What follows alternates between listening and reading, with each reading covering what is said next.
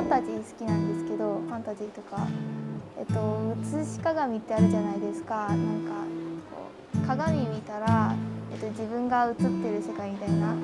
そういうイメージで描いたんですけど、えっと、場所のイメージはウユニ塩湖で結構まあ綺麗だなっていうので描こうと思いまして。自分と全く同じ動きをしてる女の子がどっちが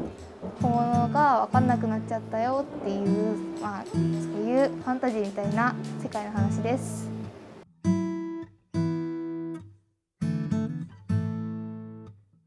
ファンタジー的にちょっと暗いっつうかそう内容的にそんな感じなんですけど落ち着いた色がいいなって思ったので青系統を選んでそれで影とかも青とか混ぜて統一させましたね。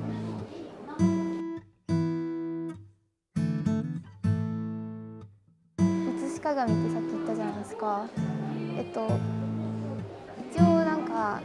女の子がここあの上にインコに立ってて手を合わせてる感じなんですけど、えっと、手前にある体みたいなのがこうこの絵の視点の女の子向が映ってる方なんですけど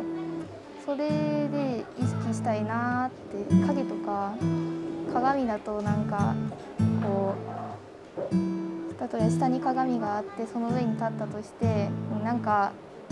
影の映り方とか普通に変わるじゃないですかそういうのを意識したいなって思ってます。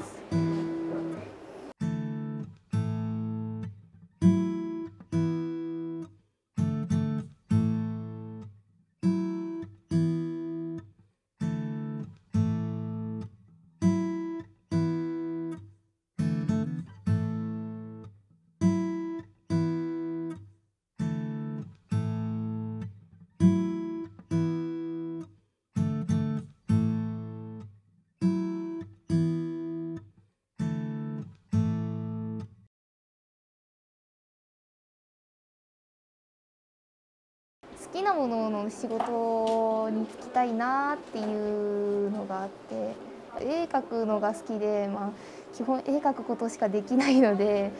あのそれを活かせる仕事に就きたいなっていう感じはしてます。